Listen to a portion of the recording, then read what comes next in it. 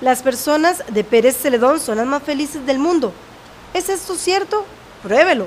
Bajo esa consigna se llevó a cabo en el Complejo Cultural en San Isidro de El General una feria de empleo convocada por un proyecto privado ubicado en Santa Elena. Indicaron que están buscando personas felices, extrovertidas, auténticas y creativas.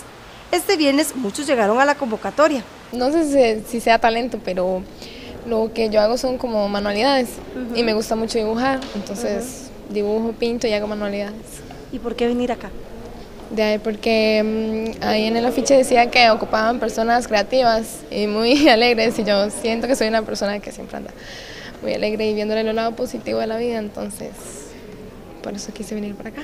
Bueno, es que pasaba por la calle y vi un anuncio y me llamó mucho la atención la forma de presentarlo, ¿no?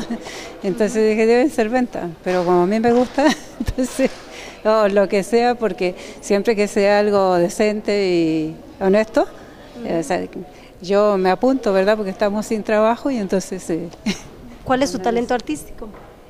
Bueno, yo creo que soy, digo yo, ¿verdad? No sé, que siempre cuando hago salidas la gente se ríe mucho, entonces yo he dado clases de manualidades principalmente y la gente aprende más fácil porque siempre los hago reír.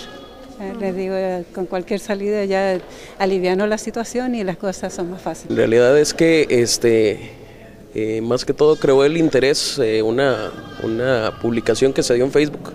Sí, que simplemente íbamos a mostrar el talento gente feliz en Pérez Celedón. Entonces, en realidad uno todavía viene acá y está dentro del misterio. Yo soy guitarrista, soy compositor, soy cantante. Este, bueno, me he dedicado a la música desde hace muchos años acá en, en Pérez Celedón y también en la zona de zona metropolitana pero bueno, me llamó la atención ahora esto que se dio. ¿De qué se trata el proyecto? Para el proyecto que está ubicado en Santa Elena General Viejo, el proyecto se llama Quincara. Nosotros eh, estamos buscando gente que sea talentosa, gente que sea divertida, que sea que tenga imaginación, que sea muy creativo. Esto es para llevar a fin, este, nosotros, el proyecto en sí es para hospitalidad.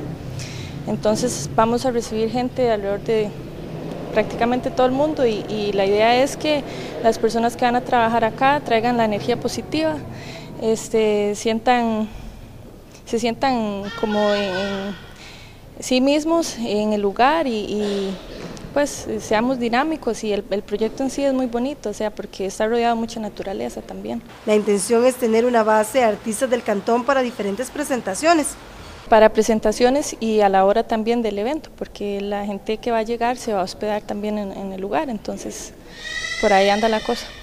¿Qué tipo de talentos están buscando?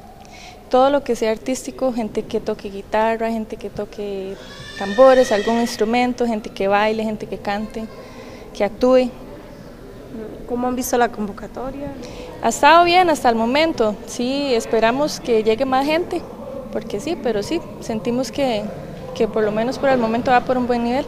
Estarán este sábado de 11 de la mañana a 5 de la tarde. Recuerde llevar su currículo.